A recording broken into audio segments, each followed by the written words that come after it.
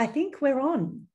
Matthew, you there? Hello and welcome to the wonders of the webinar. My name is Bernadette Nunn and on behalf of the Geelong Regional Library Corporation, I'd like to welcome you to tonight's event, Who Needs the ABC with Matthew Ricketson. Hello, Matthew. The Geelong Regional Library Corporation acknowledges Wadawurrung and Eastern Maar as the original owners of the lands on which its library services operate. The library pays respect to Wadawurrung and Eastern Maar elders, past, present, and emerging. It acknowledges and celebrates the First Nations peoples of this land as the custodians of learning, literacy, knowledge, and story. I'm coming to you from the lands of the Taungurung and Dja and I'd like to pay my respects too to their storytellers and to all their people. And Matthew, where are you joining us from tonight? Yes, I'm joining from the lands of the Bunurong people of the Kulin Nations, and I would also like to pay my respects to their elders, past, present, and emerging. Before we continue or start our chat, Matthew, some brief housekeeping reminders to everyone here tonight. We would love you to participate in our conversation. All you have to do is click on that Q&A button that it is at the bottom there, the Q&A button at the bottom, and type your question or comment in there. If you're using an iPad or an iPhone, you might need to touch the screen first so that that Q&A function pops up for you to see it. I'm really happy if you want to give it a test now and tell us where you're joining us from. You don't have to wait till the end to ask questions. Just type it in as we go in that Q&A section and we'll fit in as many as we can. Uh, you can also vote on each other's questions, which is a new and exciting feature. So um, that will help us prioritise the things that you're particularly interested in us addressing.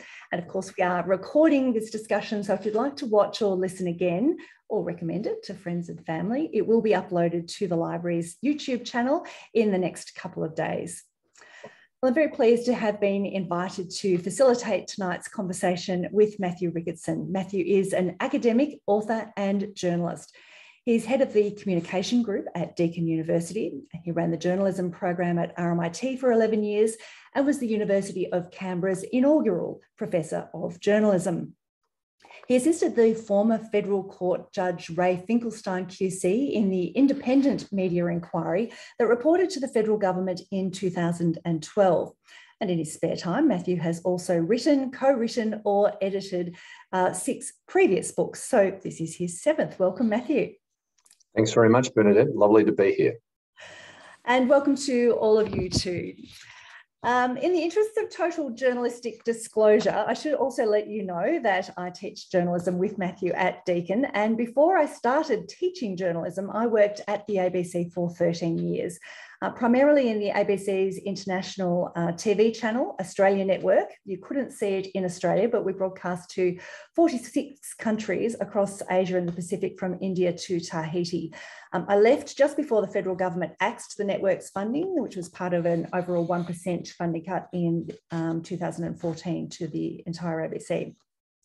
And I want to assure you that in spite of all of that, we will talk about the ABC from lots of angles for and against.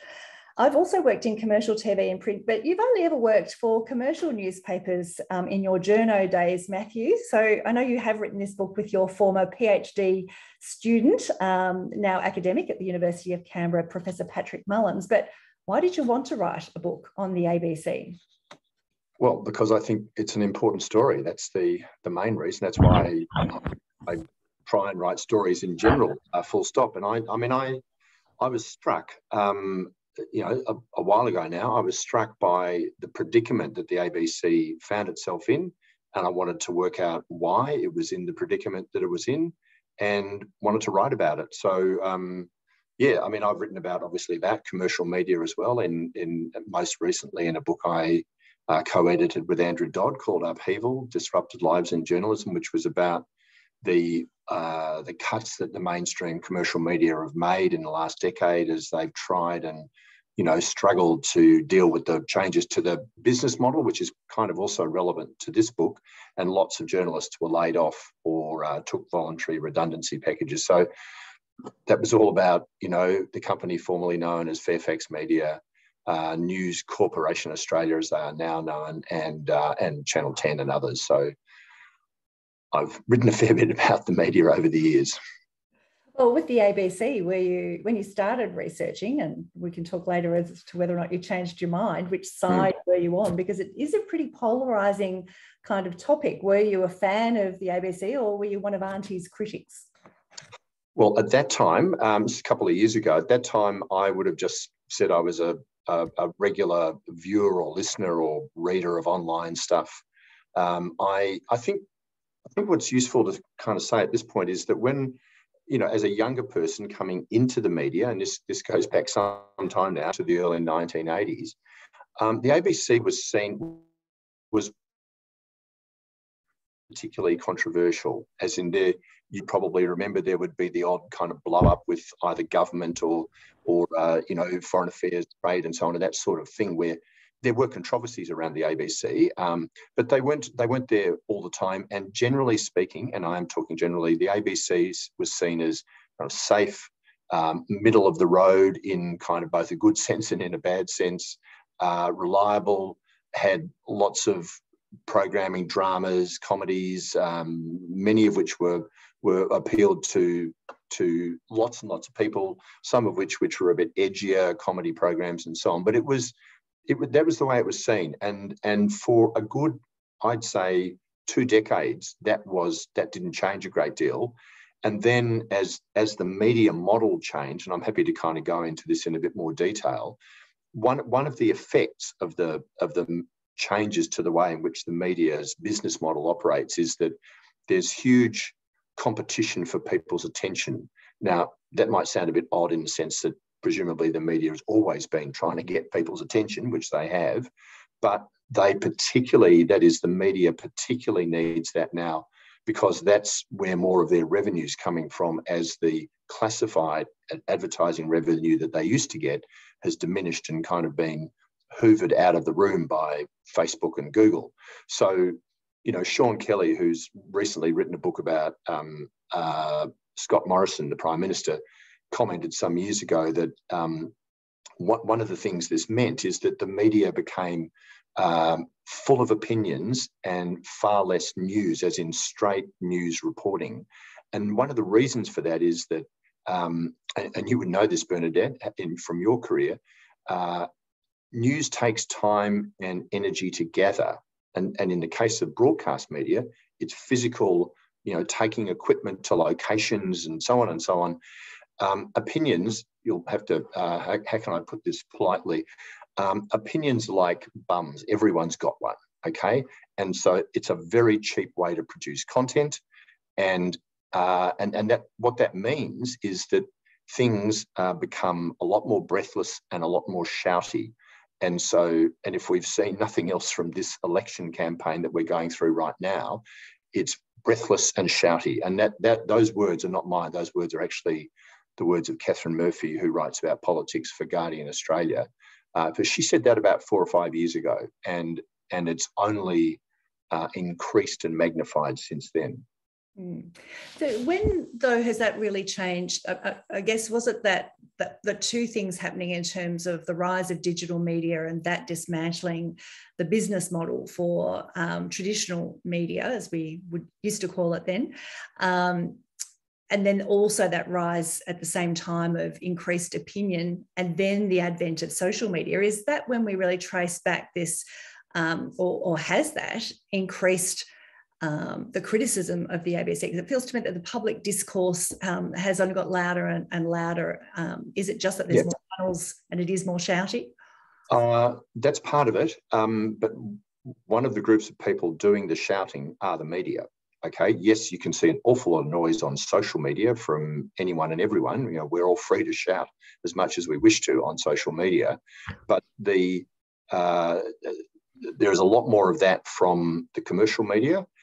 And, and so at the same time as that is happening, I, I reckon that's from about 2010 on, you can really see that, that kind of increasing. Um, the other thing that's happened is that while the uh, commercial media had a business model problem, um, that is, they, have got to make money. They've got to, make, whether they make it from advertising or from selling their actual product, they've got to make money to survive. So, okay, so when Facebook and Google start taking a lot of their money away, you know, they've got a problem. So they've got a business model problem. The ABC didn't have a business model problem. because they're funded by the government, i.e., by all of us, by taxpayers originally. So, so um, they don't have that problem. And in addition, they are only too happy, and they were only too happy, to give all of their content away for free. You know, whether it's whether it's on uh, radio and television, whether it's through iView, you know, and catch up uh, facilities like that, whether it's podcasting of their programs, which then have a life that's longer and deeper than they were just originally a 30 minute program on the radio, whether it's online, which is there kind of forever. Um, so you put those two things together and they look like a more significant threat to the commercial media than they used to. You know, if we go back to the kind of 1980s, the um, when I started in the media, you know, Channel 9 was the kingpin, and they let everyone know that regularly um, in terms of commercial heft, in terms of stars, big programs, big names, etc. The ABC was the kind of third banana in that sense. Now, the sevens and nines and tens have also got a business model problem, and they see the ABC's breadth, its reach is so much bigger than it used to be because of online, and because you know, um, but under former managing director Mark Scott, but not only him, he you know energized and and let a lot of people start doing a whole lot of things. They they you know they're they're much more day being the ABC are much more present on Facebook, on Instagram on other social media forms. Uh, Rod Sims, who launched this book, you know, who needs the ABC um, a little while ago in Melbourne, he said he, in his view, uh, ABC online and the amount of content that's there in news and opinion and, and other features and so on, actually its reach dwarfs even that of News Corp Australia's newspapers, which, as we know, extend right around the country. So that is definitely more threatening to the commercial media. And at least some parts of our commercial media, when they're threatened commercially, their their response is to attack whoever they think is is the cause of the problem. So that's one of the that is one of the main reasons why you've got so much noise now. Um, I mean, you cannot you cannot pick up a copy of the Australian uh, without seeing almost daily criticism of the ABC. You well, know, some, some of which clearly is merited, but much of which is kind of absolutely not. It's just driven by a very strong uh, commercial agenda on the part of, of, of that company. And obviously, the two of the main criticisms of the ABC, by no means the only ones, are that it's a waste of taxpayers' money, that the mm. money should be better spent somewhere else, but also the um, systemic claims of systemic left wing bias. And obviously, here we're mainly talking about the ABC's news coverage. The ABC is far more than that, and we will talk about that too. Um, so, talking about the Australian just this week, Gerard Henderson's um, column wrote that um, the taxpayer funded public broadcaster is a conservative free zone, the ABC of unbalanced reporting, the headline read. Um, and wrote, So many ABC journalists want the incumbent government to be defeated. So, what did you find in your research? Is um, the ABC fundamentally biased? Are the ABC's journalists and therefore its journalism left leaning? What's the evidence? Well, there's there's there's very little evidence. I mean, you you know you can find an individual program that was either poorly made, or you might think you know it, it's biased in some way. I would say I would kind of preface anything we say about the topic of bias is that it's one of my most hated four letter words in the English language. I just think it is such a complicated issue to unpack and almost everybody thinks everybody else is biased and they fail to see their own biases. And, you know, I'm, I'm sure I am guilty of that. Um, I, I would hope I'm less guilty of it than some. And, you know, you've mentioned Gerard Henderson, and, and he is one of the most vociferous and most long-standing um, and uh, critics of the ABC. There are others, but he's certainly one. And so one of the things we did for the book was um, ask a research assistant to look at 10 years worth of Gerard Henderson's media watchdog. And uh, in fact, there's so much of it. There's so many, there are about six to 7,000 words per weekly issue. To look at a full 10 years worth was almost impossible. So we did a sample of one per month over 10 years. And what, what we found is that, uh, you know, there's A, there's a huge amount of, of items that Gerard Henderson devotes to the ABC. It was about a thousand or just under a thousand over that period, remembering sample one in four. but if you look at how many of those articles are positive towards the ABC overall, how many are negative, and how many are neutral, you know, in the positive column was about 4% or 5%. In the negative column was 94%. Um, now, Gerard Henderson, if you've read any of what he has to say about various things, he's always talking about, and you've just quoted um, one instance of it, he's always talking about how imbalanced the ABC is. And I don't know about you, but it seems to me uh, 10 years running at the percentage rate of 94 doesn't suggest a fair amount of imbalance on his part, in my, in my view. Well, there were more than 60 mentions of the ABC. I lost count after 60 in this week's column, and I think conservative free zone got mentioned five times. Well, I think he has conservative free zone tattooed on his forearm because he, he writes that, I'd say, every almost every single time he writes about the ABC. Well, given that example in terms of you know what he's doing, but shouldn't the ABC be more accountable? And I guess one thing I, I wonder sometimes whether people understand is how accountable it is yeah. and how much yeah. time the ABC um, is required to defend those claims. And I guess then what is the evidence as a result of that? Okay, so all right, let's let's look at that because that's a really good question. Um, if you, the ABC is the most scrutinised media organisation in the country, and there is certainly a good argument for at least some of that scrutiny, and that is because, like other public agencies or publicly funded agencies, it's tax it's using taxpayers' money. So okay, that's it's not that that is a, an invalid argument. That is a valid argument.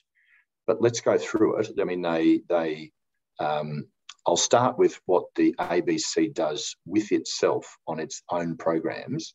Um, obviously, there's Media Watch, which has been running since 1989 and scrutinises the ABC as it does commercial media um, print, online, broadcast, social media, etc., magazines. Um, if if you compare that to the way in which the commercial media covers itself, there is a stark difference. As in, most commercial media is much more comfortable criticizing other parts of the media than it is on turning the spotlight on its own performance. Uh, you know, uh, if you've seen Gerard Henderson in the conservative free zone um, line written a million times, you will also see in News Corp publications, you know, the most common headline is News Corp audience going up or News Corp post record profit or, um, you know, uh, interview with Rupert Murdoch with his latest ideas about this, that, and the other. You will you will go a long way before you will find a tough interview with Rupert Murdoch in his own publications they can publications, they can do what they like. I guess I'm interested too, though, in those, I guess, the, the more formal inquiries yeah, um, yeah. that ABC where it is called to account. And I guess, you know, that, that could take the rest of our chat just to go through all of those because there are a lot. But just give us a snapshot, I guess, as to sure, sure. How, how accountable the ABC is, how much time that takes. And what is the upshot of all of that investigation? Because these claims of bias really persist. They do. Um, okay, so there's there is uh, the managing director of the ABC turns up to Senate estimates every time it's called, or every time he or she is called. Uh, they need to answer questions on notice, um, which which can be extensive and can be silly, but can also be very probing. You know, uh, they need to submit themselves to any inquiries that are set up by the government, whether um, whether you know, for example, the inquiry that I was involved, they provided a submission, um, and uh, what else? They they they also subject them. Well, they they have since around about 2007, I think, is the first election that was done. But since then, they've produced a report, the ABC, which usually runs to about 60, 70 pages, about the coverage of the election. You know, they'll be doing one right now and that will go to um, that will go to how much time each party has is given, major and minor, you know, down to the second. Uh, it will look at um, tone and a voice and so on, understanding that that's actually quite a limited tool. And, and even more limited tool is just measuring how much time. You would think that um, that if you had equal split, you'd, everyone would be happy, but they're not. Mm. So there are, so they do that each time uh, and and those reports are available you can read them and you know we've had a look at them and and they they overwhelmingly say the bulk of the reporting and analysis was measured and and uh, done in the spirit of the act that you know that governs the ABC. They'll pick up the odd thing here and there, as you would with any media outlet, but there's no, there's absolutely no systemic issue uncovered there.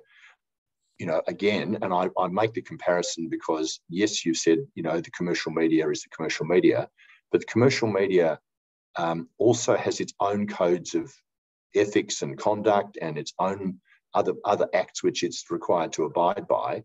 And there's an argument to say, which we've made in the book, that they do a far worse job in meeting those, in abiding by those codes, and in being regulated than the ABC. So. Um, there's, there's plenty of examples. There's there's a lot of appendices and, and data in here to so you can sort of dive into a lot of your sources. And I, I found it really interesting those um, that the ACMA, the Australian Communications Media Authority, that you know, if anyone has any complaint against any broadcaster, community broadcaster, commercial, the ABC, SBS, etc., that's where your complaints um, ultimately are investigated. And yeah, that was quite a stark difference in terms of the kinds of complaints made about um, ABC content compared with those made against commercial broadcasters. Well, yes. I mean, what what came through there was that that this is a generalisation, but by and large, the complaints about what's on ABC News and Current Affairs go to political issues. That is, it might be uh, about coverage of aged care or something like that. That's I don't I mean that as well as actual coverage of major political parties.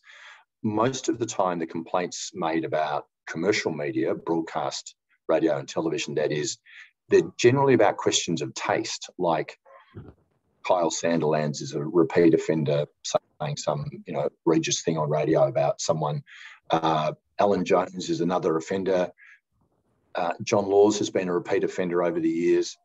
Two points to make about that that I think are really important. The first is Jones is more overtly political than almost all other commercial broadcasters.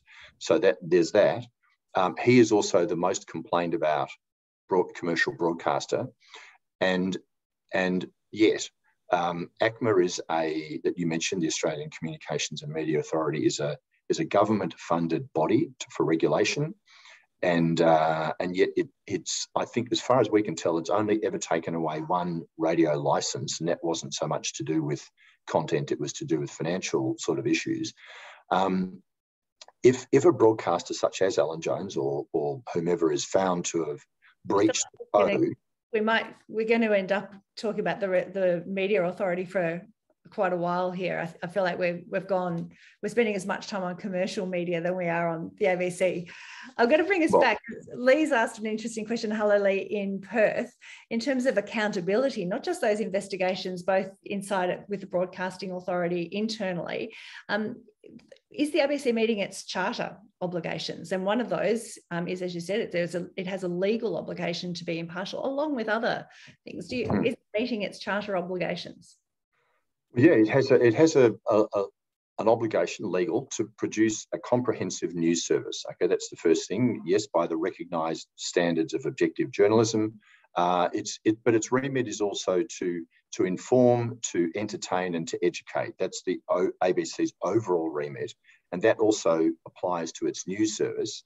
Um, within the editorial code of conduct, which, uh, which the ABC has, um, it's also required to, you know, to scrutinise those in positions of power and authority, whether it's government or the unions or businesses or religious organisations or whatever.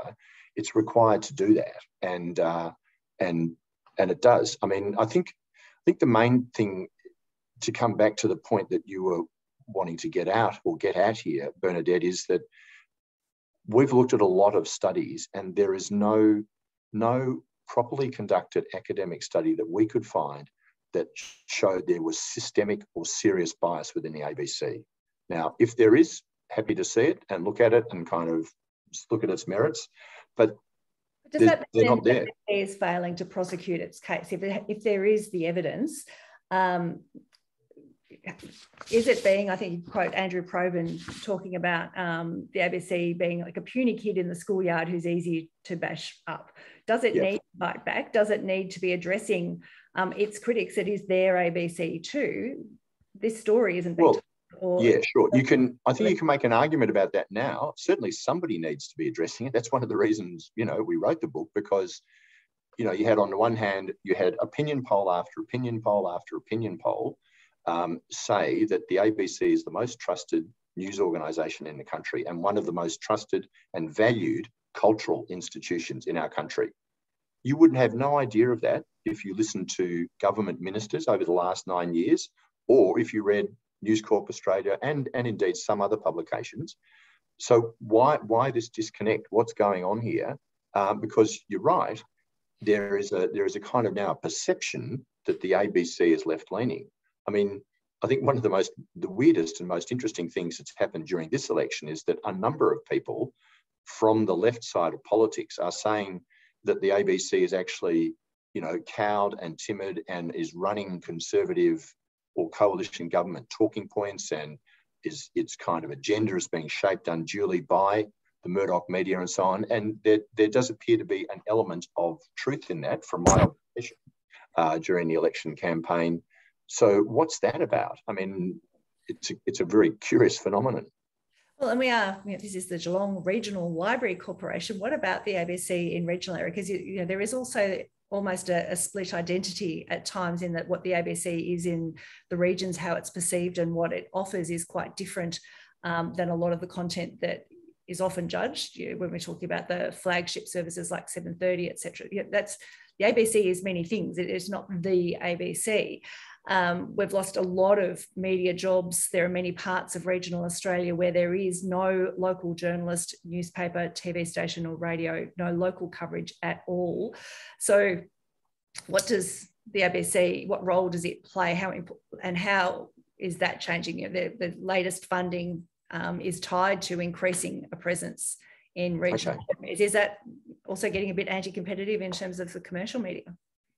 Um, well, the commercial media um, have, in some ways, in some places, have kind of just vacated the field in, in, in regional and rural areas. Now, you know, there is an argument to say that the commercial viability of what they're producing. Um, it's always, you know, country media has always been slightly less profitable than big city media. Okay, so fair enough. Um, but the Hugh Marks, who who used to be the chief executive of the Nine Entertainment Company, is no longer. But he told a parliamentary inquiry in about 2016 that look, I mean, I'm paraphrasing here, but he basically said, look, we can't make a buck out of regional and rural news anymore. The ABC should do it. Leave it to them. Okay. Um, now, who's who's vacating the, the marketplace here? I mean, it's uh, you can certainly make an argument that the ABC is funded for all Australians, like that is that is enshrined in its kind of legislation. Absolutely fair enough. And but you know, um, it shouldn't simply be a market failure broadcaster because if it is, it's simply chasing the commercial media outlets around and around the mulberry bush and trying to pick up where they drop off. And they will be going to where they can make money um, and and they are and some of their decisions will be good and some of their decisions will be bad. And they're also facing some pretty significant threats. So that that is not a model for a that's that's a model for a kind of public broadcaster that's basically shedding limbs as it runs around the field. There's a lot of criticism about the cost of the ABC, and it certainly is significant.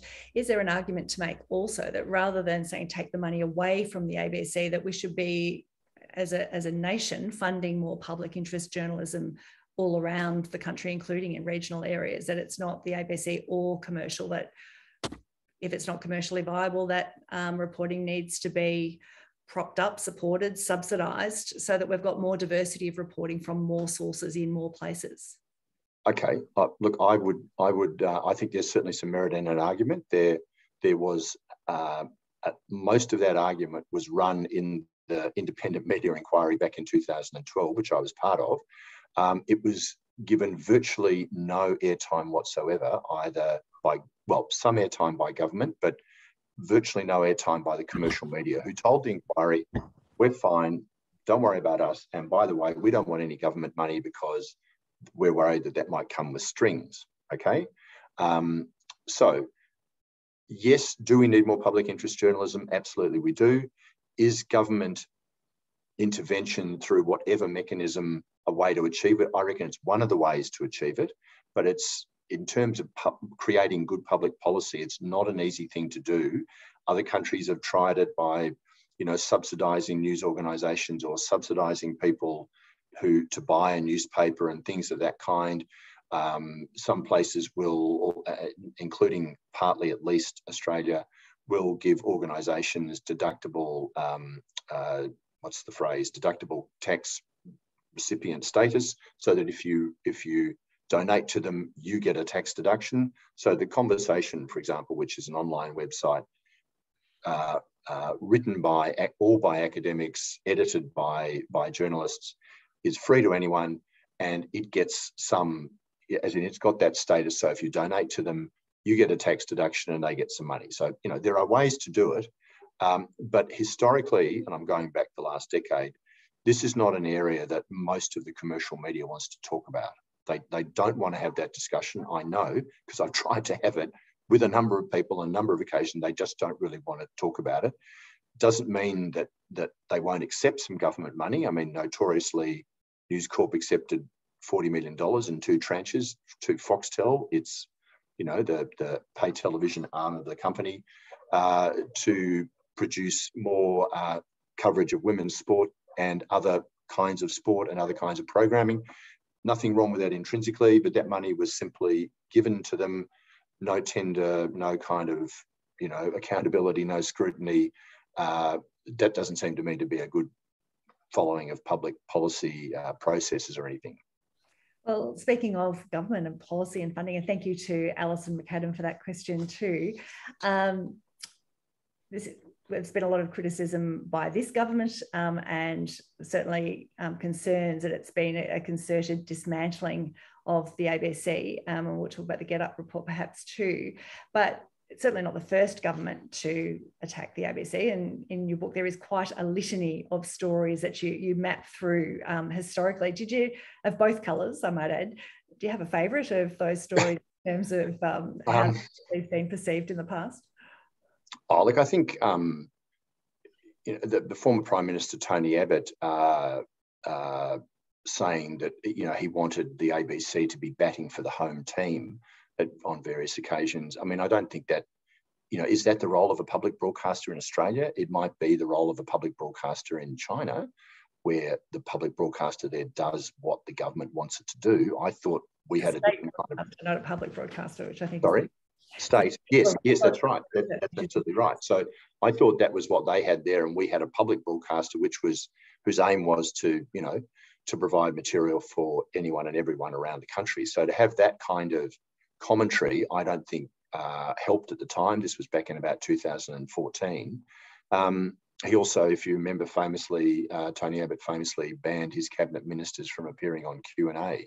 And you know, without going back into all the weeds of these various controversies, I think the kind of point that came through from looking at, we went back and looked at when ABC as a commission became the ABC as a corporation back in 1983, and um, and what we found was yes, there's there's kind of tension between government and the ABC throughout that period. Baseline point, absolutely true. Um, the second point is that the, the hostility you know you can now map it over that kind of nearly 40 year period is is sharper and more overt when a coalition government is in power and we've had almost the same number of years of coalition governments as labor governments in that kind of 38 39 year period and you know um, uh, and that's also matched by the way in which the funding is done and and we've got uh, you've mentioned the tables at the back and I, I, I would really like to acknowledge our colleague Michael Ward at the University of Sydney. Uh, he's a PhD candidate there, and he worked for about 20 years as, a, as an executive at the ABC. And he dives deep into every every level of source in order to try and untangle the what the ABC's funding is. And anyone who's done that work will will know it's a labyrinth. Anyway, he created a table for us, which I think is on page 186 of the book, if I remember rightly, and it shows the amount of funding at the beginning, of uh, the amount of funding, the funding level at the beginning of each term of government, that is each, whether the Hawke Keating Labor government, then the Howard coalition government, then the Rudd Gillard Rudd governments, Labor governments, and then the Abbott Turnbull Morrison coalition governments. And the graph looks like a cross-cut saw. Funding goes up under Hawke Keating, down under the Howard coalition, up under Rudd Gillard Rudd, and then down under Abbott Turnbull Morrison. And you know, it's it it's it's stark, and uh, you can cut it in various ways. But um, a more recent table that Michael's done is even more stark in in showing that. Uh, I won't bore your listeners with the kind of you know the the 13% here, 12% there, but crosscut saw is the image to come have to mind because that's what it looks like. Um, thank you for your comments, Lee. Um, just responding to the chat there as well. Um, just while we're talking about government funding, um, in 2018, the Liberal Party Federal Council voted by a two thirds majority to privatise the ABC. We are in a federal election campaign. Is the federal election likely to determine the future of the ABC as a public broadcaster funded by taxpayers? Well, it could well do. Okay. I mean, we don't, what we know um, of the coalition government is that they, yes, that that uh, motion was put through the Federal Liberal Council in 2018. Um, if the Minister for Communications was Paul Fletcher was here, he would say, well, that's not government policy, and it's true, it's not government policy, but it's a it's a policy put forward by their you know their most senior policy making group, as I understand it, and it stands there. It's not been you know controverted.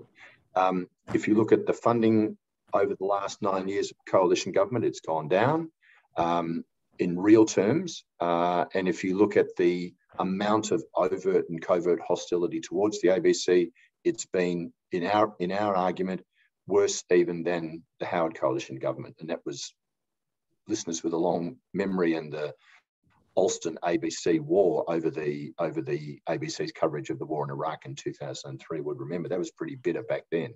So um, so so what what would the, what are the, what are we likely to get out of the the the government has increased the ABC's funding in its triennial latest triennial round, which goes from this year through to 2024-25 by in, in nominal terms, yes, it's increased it, but it's increased it by such a small amount that the re, in real terms, the ABC's funding is still going backwards, and that's even by the, uh, the government's own budget paper projections of what the inflation rate would be.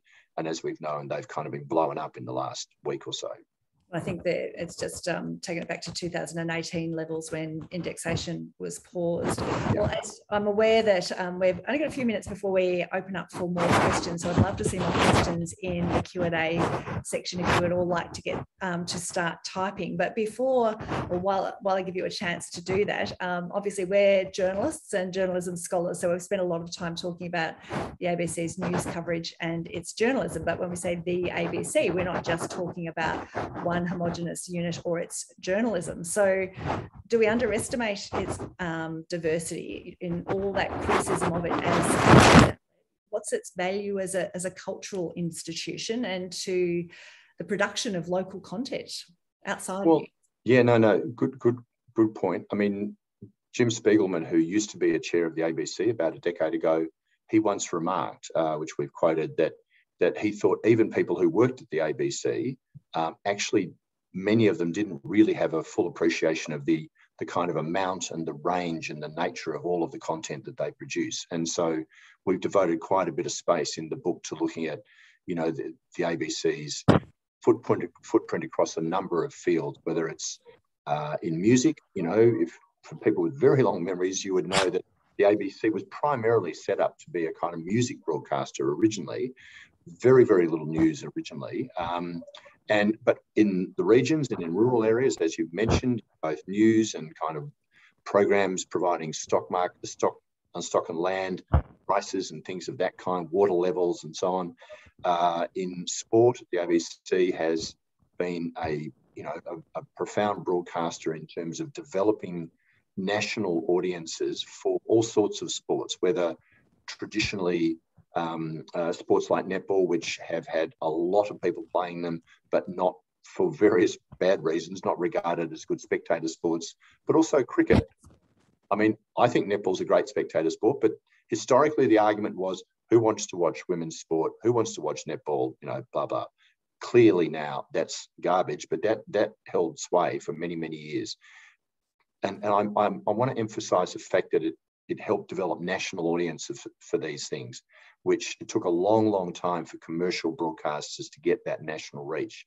So those things, uh, whether we're looking at them, whether we're looking at um, other cultural outputs, radio dramas, television dramas, comedies, um, you know, the Channel 9 people in their pomp, uh, their head, uh, Sam Chisholm used to say, you train these guys and then we'll pay them more and take them away from you. And, and Ray Martin is the kind of classic example of that. ABC born and bred, uh, fed very handsomely by Channel 9 for many years after that. So um, the, the, the ABC reaches into a lot of different parts of our lives. And one of the things that most struck us was uh, it's a national cultural institution. It's valued enormously by many, many people, and yet it's subjected to this extraordinary level of hostility in a way that the National Library or the National Archives or the National Museum or the National Portrait Gallery and especially the Australian War Memorial are never subjected to that kind of um, uh, venom and, and uh, hostility. And what's that about is kind of one of the things we were asking. And the other thing we haven't talked about, which is a really big part of the ABC, is the, the children's content and the education component. Yeah.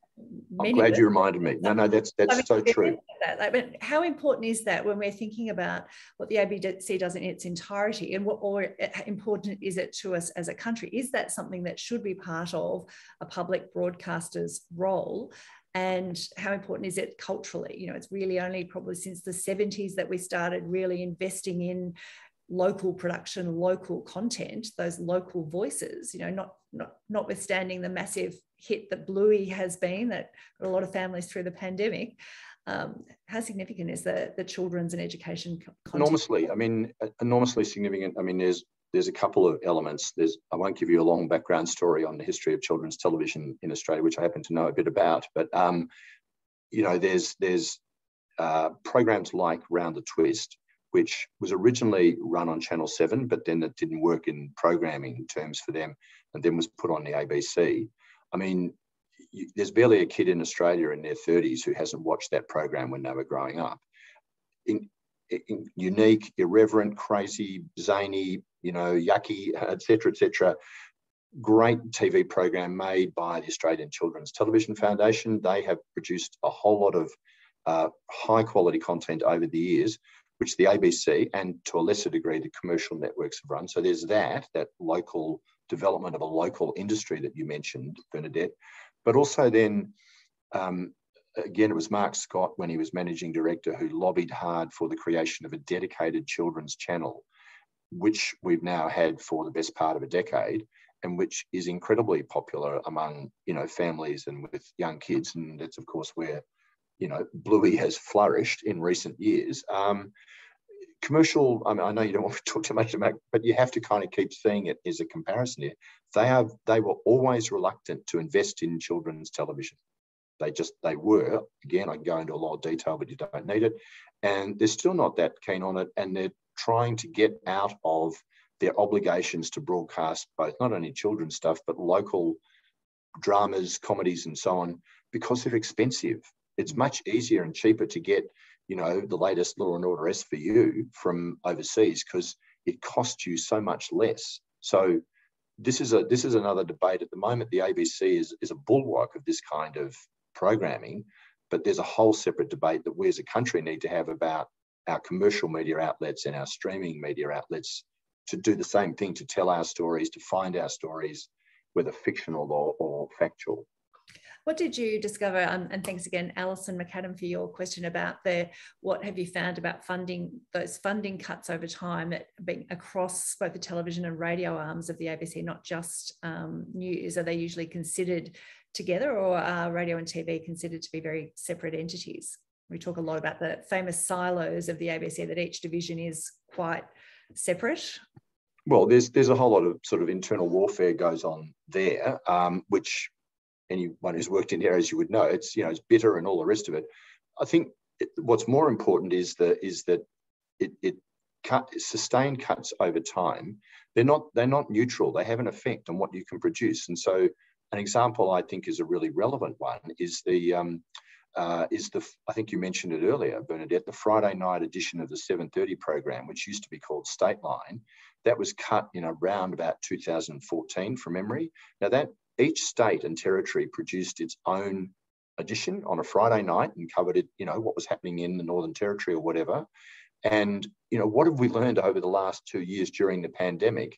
It's the very, very important role of the states in delivering service or not delivering services that we needed during the pandemic. And obviously, it's not over yet. So that kind of scrutiny of what's going on at the state level has has has definitely diminished. And so, um, you know, and I don't think we as a country are better off for that. It's actually a, it's a significant problem, and and the commercial current affairs programs have have also not done as much of that, and many of them have kind of closed down anyway. Well, one thing that the commercials I don't think ever really did um, that the ABC you know, again trained some you know, world experts in was the natural history unit, which was extraordinarily expensive. It takes a really long time to get you know that particular shot of that species doing whatever in some obscure and remote place. Mm. But where you know, David Attenborough is a global entity who has a significant voice and the value and the, of the resales of that kind of um, production. But that's something that was in-house and a specialist skill, which no longer exists at the ABC. You know, we're seeing dismantling, I guess, of some of that expertise um, and, and what's oh, left to go. Yes, and, and there was a, you know, that that at least partly that goes back to about the late 1980s and early 1990s, and and and it was under the Hawke Labor government, under the belief in the virtues of privatization and of corporatization and so on, that a lot, large parts of the ABC's kind of in-house capacity to produce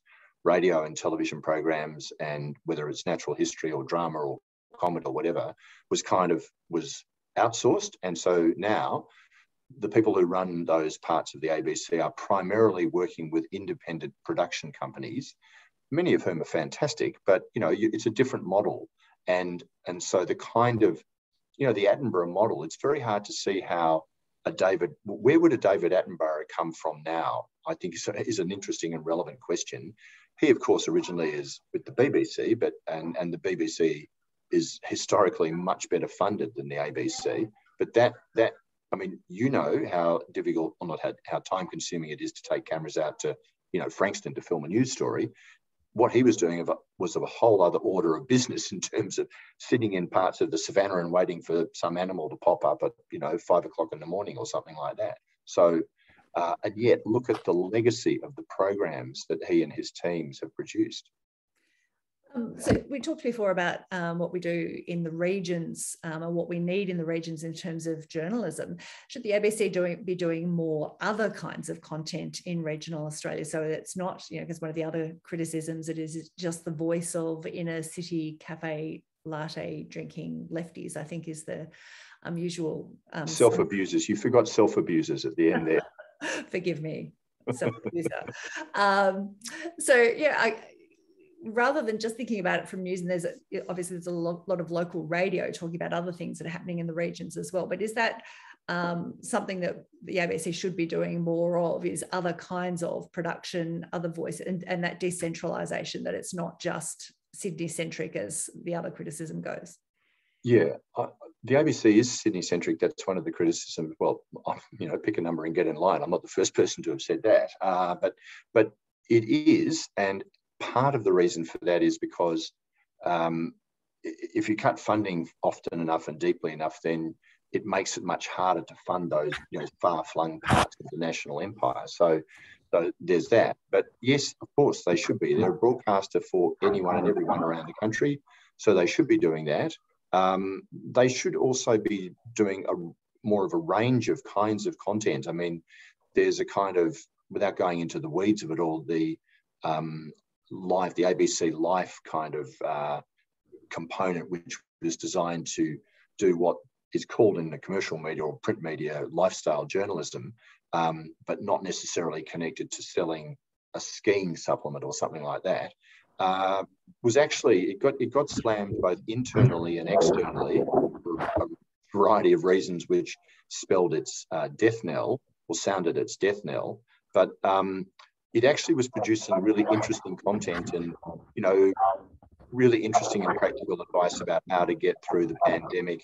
You know how to what, what sort of things you could cook cheaply during the pandemic, things of that nature, which were about ordinary moments in your life uh, not driven by a kind of news value, but um, also not driven by commercial value. So, to the extent that that's been kind of curtailed a bit in recent years, I think that's a really unfortunate development, and that they, they were doing some really good and useful stuff. So arguably, it's been slightly rebranded as ABC Every Day. Um, and I think there was also you know, some some other voices that you might not have heard from other media. Um, that's well, diversity. There was diversity too in terms of people from different ethnic backgrounds, people from whether they were not able, whether they you know had a, a, other kinds of issues that just they were reaching out more broadly than the kind of um, uh, white middle class, middle aged people such as well, most older than middle aged people such as myself I was wondering who you're going to put in that. I wasn't going there. well, the ABC used to have a program called ABC Open, which was very much about handing the camera and the um, the radio mic, etc., over to the audiences and giving people the power to tell their own stories. Heywire, um, another program in regional Australia, does a similar sort of thing, but the ABC Open um, project didn't continue and, and also had quite a bit of criticism. Is that a role? I guess it fits a little bit in with that education side of not just um, broadcasters telling other people's stories, but particularly in this um, era of digital media, helping people tell their own stories and have more of a voice themselves rather than um, the broadcaster just being the curator deciding whose voice should be told or not. Yeah, no, well, that's that's um, a trend in the broader media as well, in particularly social media and other online media forms. Um, and the ABC did some great stuff in there in terms of encouraging people to tell stories. And uh, you know, to the extent that they don't do that anymore, I, I think they really should. And that's some that's something that if they had a bit more funding, they could do. I mean, the the kind of funding um, question I think is a bit of a shibboleth in the sense that people, you know, often say the ABC they they kind of pause with a Doctor Evil like flourish and say one billion dollars every year, and yes, that's a lot of money. I mean, I don't, I haven't seen a billion dollars so yes, it's a lot of money, but it's a, it's an organisation that does a huge amount. If you look at it as a, as an overall component of the federal budget each year, it's about 0.05% of it.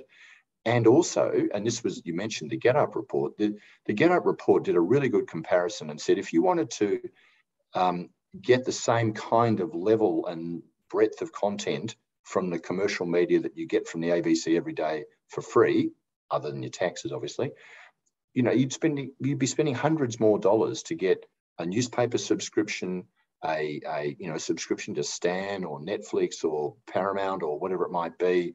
Um, free to air, you don't have to pay for it, but if you're paying for pay TV, you quickly rack up many hundreds of dollars a year in annual kind of media costs, if you like.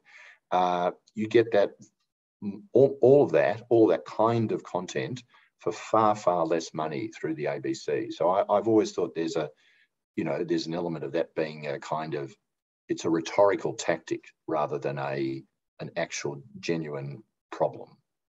Well, the GetUp report you mentioned, I think, came out in February, just about the time just before your book was officially launched, and I think um, some of the wording was it, accused the coalition of um, insidious, intentional political interference, pernicious bullying, systematically and relentlessly attacking the ABC. So, is that GetUp's left leaning bias, or were you a bit soft in your judgment in your book?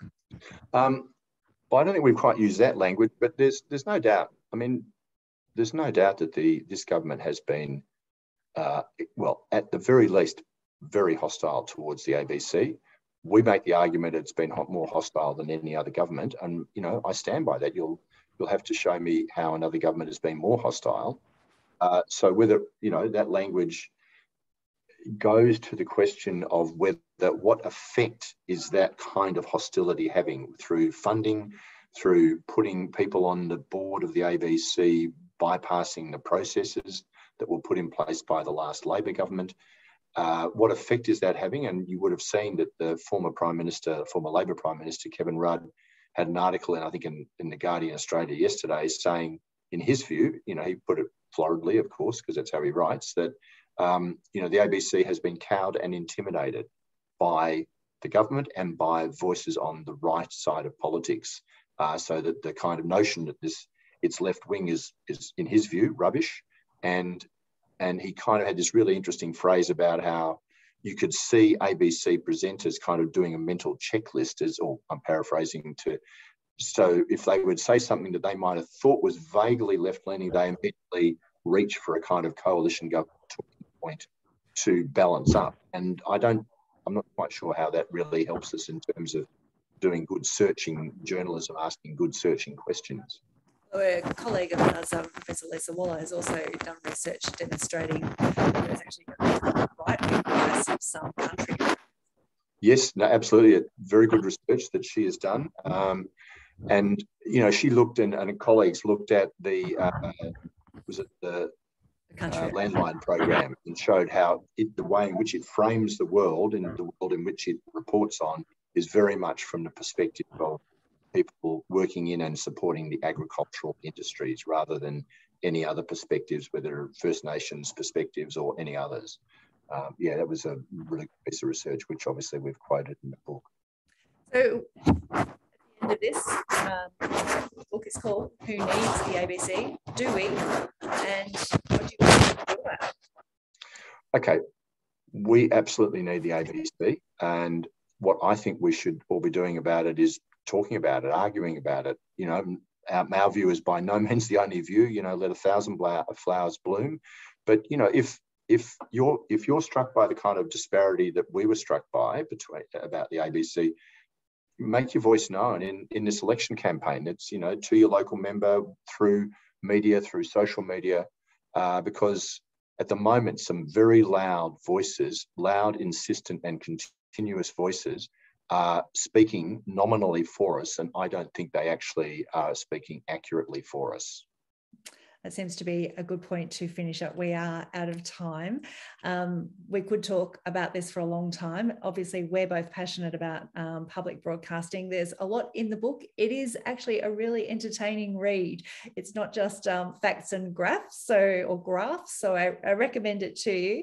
Um, thank you for your questions. Thank you, Matthew, for making um, public broadcasting interesting, insightful, and entertaining.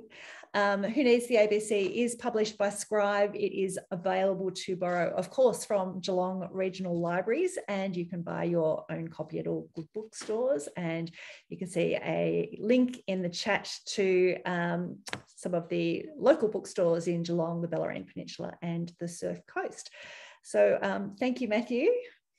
Thank you, Bernadette. Really appreciate the, the interest and the questions. Thank you all for being here for your questions and comments and on behalf of Geelong Regional Libraries. Um, thank you all for joining us. Good night.